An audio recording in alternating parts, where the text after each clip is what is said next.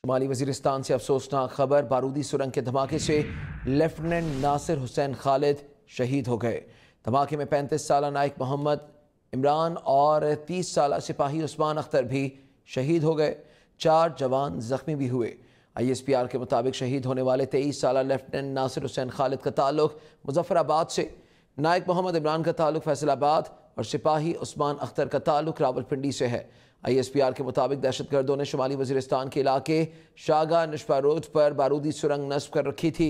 Security forces का दस्ता सड़क तामीर करने वाले कारकुनों की हिफाजत पर मामूर था।